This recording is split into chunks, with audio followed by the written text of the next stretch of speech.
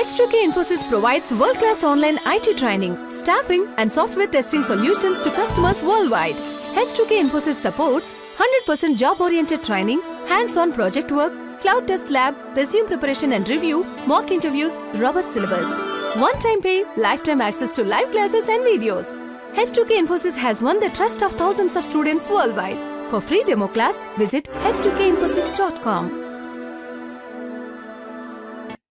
Uh, rather, what we will do is, uh, okay, first let me show you once again from scratch. I'm going to delete whatever the project that I have created. I've deleted. Just please be on mute and please observe it. Shall I go ahead? Yes, yeah. Yes, please. Yes. All right. Okay. Very the very first step is I'm going to create a Java project. How to create a Java project? It's file, new, Java project, and I'm going to give one name to it known as Selenium Automation. Click on next and click on finish. Okay. The second thing is that I'm going to create two subfolders in it.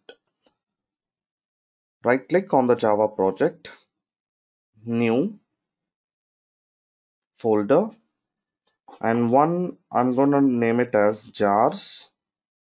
Finish. Right click on this. I'm going to mm-hmm. create two subfolders. The other one I'm going to name it as browsers. Finish. So we have two subfolders under this Java project. One is jars and one is browser. The, to work with Selenium, we need to download the Selenium server standalone jar file. How to do that?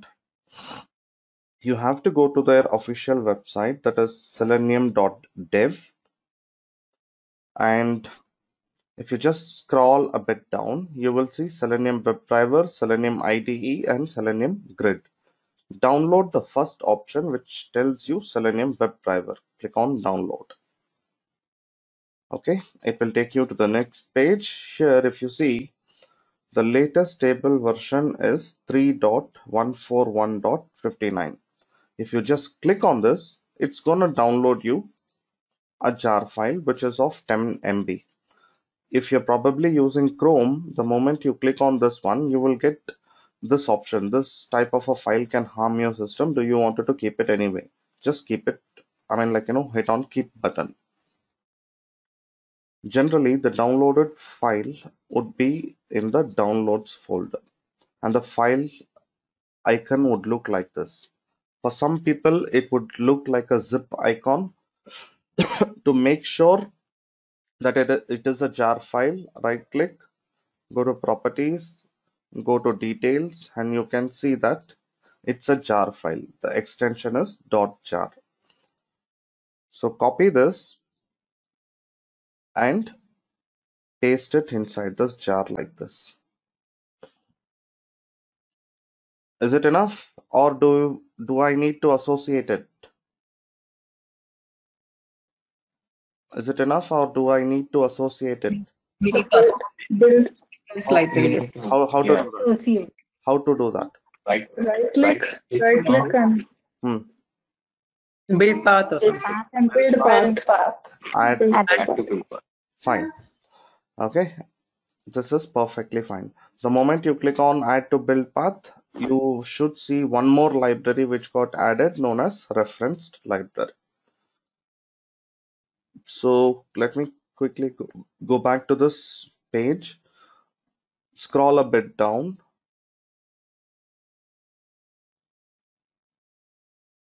Where I can see a browser. Excuse me. And I'm gonna check for this Chrome. Click on this documentation page.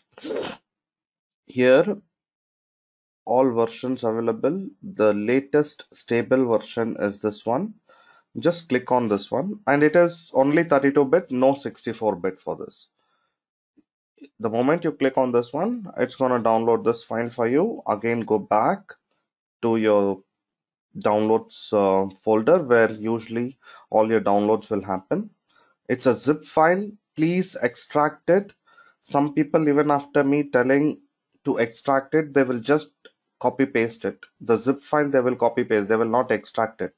So point to be noted here, first it you have to unzip it, copy the file which you will get after unzipping it. Copy and paste it inside the browser.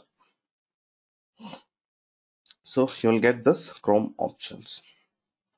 Okay, so we have Selenium jar file and Chrome browser exe please make sure that you don't add this. You have to add only the jar file to the build path. Please don't add this chrome.exe to the build path. Okay? You have to just copy paste it. You shouldn't be adding it. You should you should be adding only the jar files to the build path. For time being only chrome driver is enough or else no. Let's um, even add gecko driver that is Firefox driver. Mm, let us start. Browsers. Gecko driver. Click on this documentation. Um, click on this one. And it will take you to the github page. And here you see this windows 64 which is of 1 MB and let me go back to the same location. Extract here. Copy this and paste it here. So I, I have these two browsers for time for now this more than enough and selenium standalone jar file. Now let's start with our regular work. Right click on this src folder create a package. Santosh, uh, Santosh, question here. yes Uh, if there are multiple projects, Hmm. uh, so should we be having the jar files and the executable files for each of the project? for now just have it for each of the project i will tell you how to keep a jar i mean browser exe should be there for um, individual project but jar files you can keep it in uh, some folder a general folder and you can just call Mhm. it okay you don't have to add Okay. jar file for each and every individual folders for but for browser exe you have to have it must and should Okay. jar So file later, would you be I'll, I'll later would you be explaining how can you do it? Okay. yeah I'll do that I'll do that okay Sure.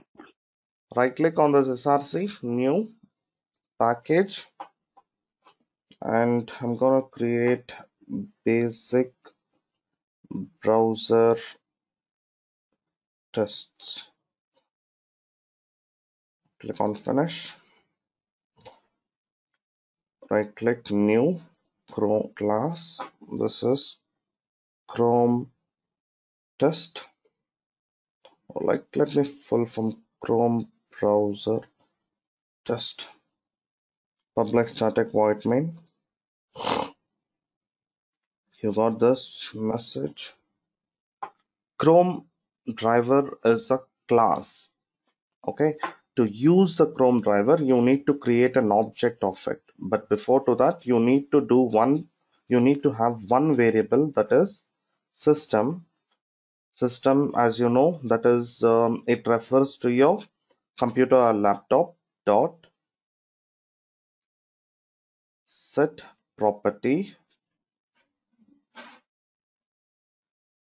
set property see here i'm going to take the second one both which is accepting or expecting key and value pair. Both are of string type string key and string value. Choose this one. Enclose with a semicolon. Key is webdriver dot chrome dot driver. And the value is copy the complete path of this chrome driver properties this one full forward slash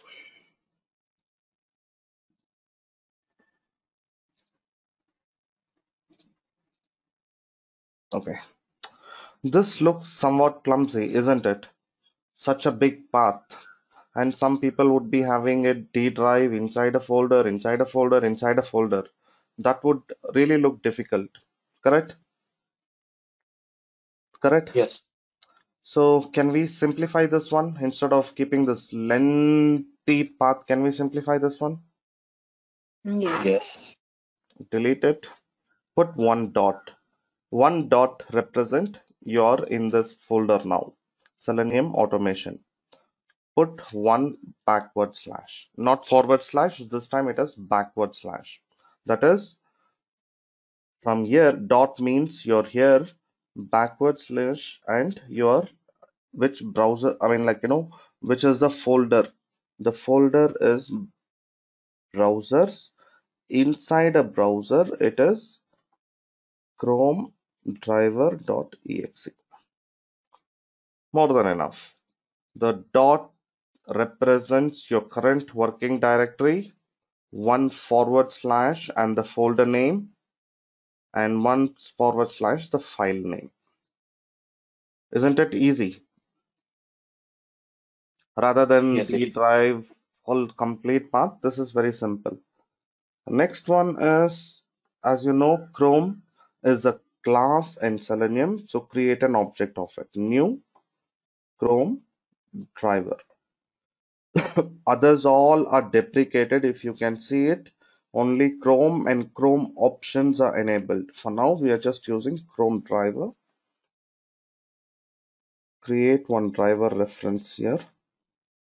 Move your mouse pointer. Create local variable.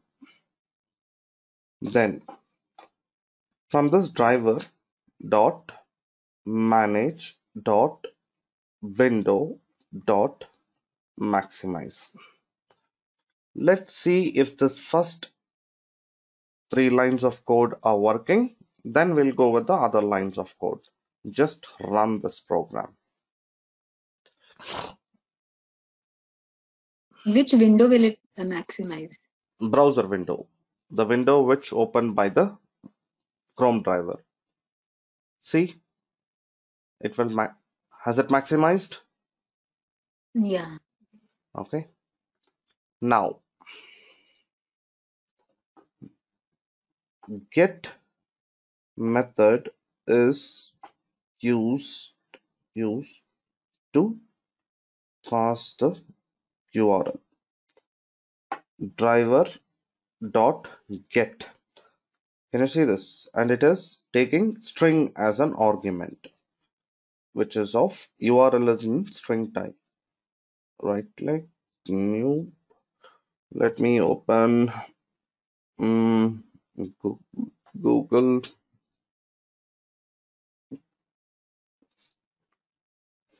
Then second thing is that get title method is used to get the title title. Driver dot get title. And I'm gonna store it with some URL or some um, variable. Variable name is title t-i-t-l-e move my mouse pointer. And print this one s-y-s-o-u-t sys out t-i-t-l-e title. And I'll wait for some time. Thread dot sleep thread dot sleep I'm just putting just to pause my execution at this point for you guys to visually see it. Two seconds. And it's a checked exception. It will ask me to throw an exception. And finally driver I mean sorry. Close method is to is to is used to close the driver instance or browser instance. Driver dot close. Okay. So let's run this. Right click run as java application. It will launch your Chrome browser. It will maximize, it will enter the URL, it has fetched uh, the title and it has closed. Did you notice it? Whatever that a user does it manually, now it has been done by a tool and the tool is known as Selenium.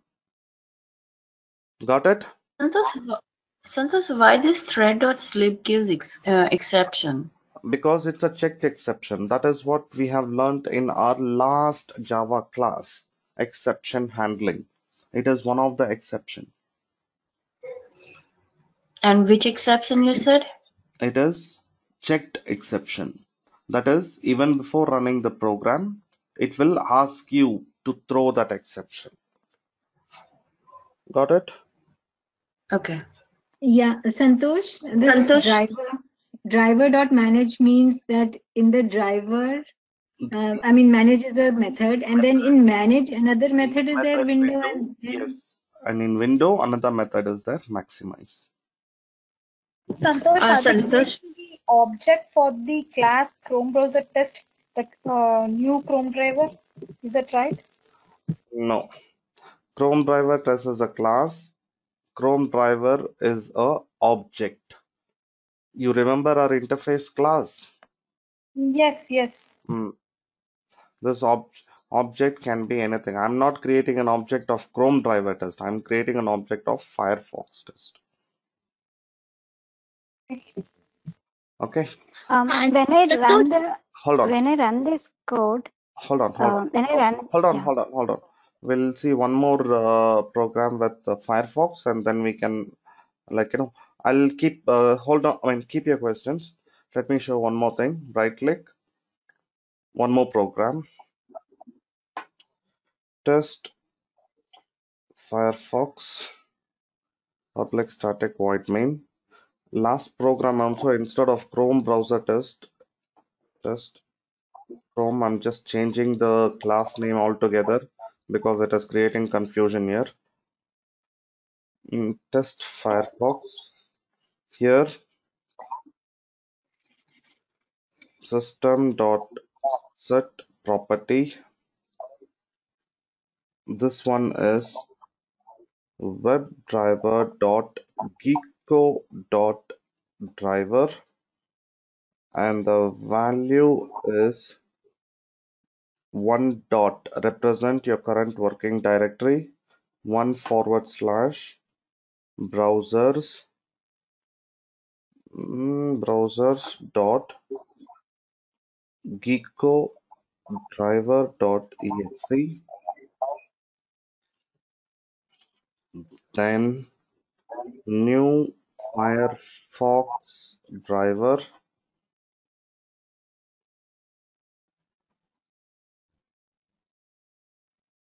Driver firefox driver dot manage dot window dot maximize. Okay. Here yahoo.com gonna hit enter. The moment see here i'm typing yahoo.com right? I'm typing yahoo.com right? Yes, the moment i hit enter it is the url is getting changed can you see this yes, Yeah. yes. okay Yeah. so driver dot get yahoo.com after that driver dot get current url and i'm gonna store it in some variable known as mm, url whatever. And i'm gonna print it sysyot out. Print the url and sleep for some no not required to sleep. I'm gonna s- driver dot close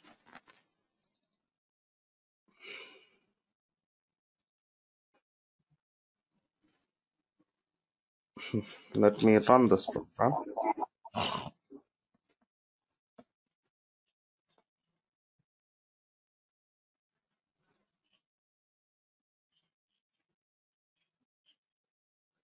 Working?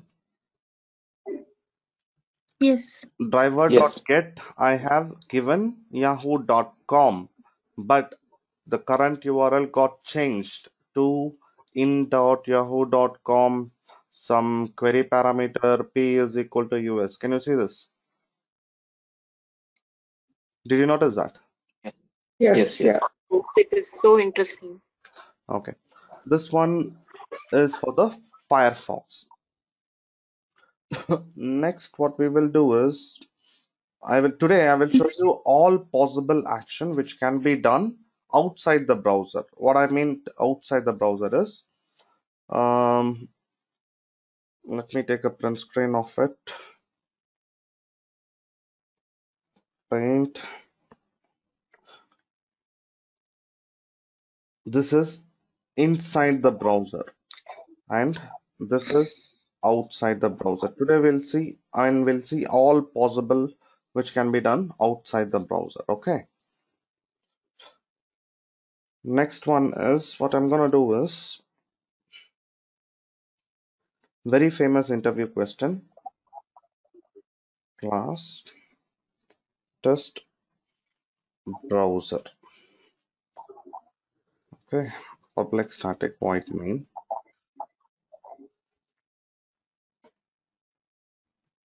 Here I'm creating an object of Firefox and this has been referenced by its own type. What it is known as? Compile time. Um, Compile time Polymorphism. Polymorphism. uh, it's known as compile time polymorphism. Okay, just don't tell polymorphism, my friend. Everything is a polymorphism, but you should be in specific which polymorphism it is. It is compile time polymorphism. As well as it is dynamic, right? No, it is not dynamic. A child class, when you create a class and it when it's being referenced by its own type, it's known as compile time polymorphism. But if you see here, what is its type? Its type is Chrome driver. Same. Same, right? You created an object of a class and it is being referenced by its own type. Can you give this reference to any other browser? No. No. Did you understand my question? You have created an object and can you give this driver reference to Firefox? Even Firefox is a browser, right? Can you give this driver reference? No, because it is it is static. But can we do like this? It's a very famous interview question. What is the let me let me write down the interview question first. Mm, WebDriver driver is equal to new Chrome driver. Okay, then Chrome driver driver is equal to new Chrome driver. What is the difference between these two? They will write this and they will ask you what is the difference. what mm. is the difference? Okay, the answer is answer is when They are different type of. hold on Okay, go ahead. Go ahead. hold on answer is the first one that is web WebDriver driver is equal to new Chrome driver. This driver reference can be given to any browser browser type whereas whereas the second one is limited to only Chrome type. Very much self-explanatory. Tell me who who did not understand this. This when you upcast this driver to WebDriver, this driver reference can be given it to Chrome type or it can be given it to Firefox. But when you write it like this, this driver is reference, this driver reference is limited to only, only Chrome type. Chrome driver. Makes sense? Does it make sense? Yes. Yeah, this is the Yes. polymorph polymorphism, right? This is runtime polymorphism, Yeah. Yeah. compile time. Compile- So, Santosh, Santosh, in what situation someone will use only Chrome driver? Nobody will use this one. stuff. Nobody will use Oh, it. this is just ex- uh, okay, Okay. interview. Everybody will uses this only. But if you're writing like this way, you should be supporting with proper justification as to why you're writing like this. You cannot simply go just write like this, right? People will start asking you that, like, you know, boss, you can write it like this way also. I mean, the driver reference of Chrome driver should be referenced by Chrome driver. Why are you upcasting it to WebDriver? Then you can give a justification that if I do this, this driver would this driver reference would be limited only to Chrome driver. But if I do this, this driver reference can be given it to Chrome driver as well, Firefox driver as well, or even or any other things. Shall we see this in action now? Shall we? Yes. Yes. Declare a Yes, please. declare a variable I'm gonna declare a static static web driver control space driver a global variable. Static means I don't have to create an object to access this. It belongs to a class level. Now copy this first one. Uh copy this entire one. Hmm? I'll put it here. Here. Instead of this one just me change this. So this driver just the moment I remove from where it is taking. Everything is highlighted to the up one did you notice? Yes, yes. okay. This thread dot sleep I will throw an exception. Now let me copy this Firefox too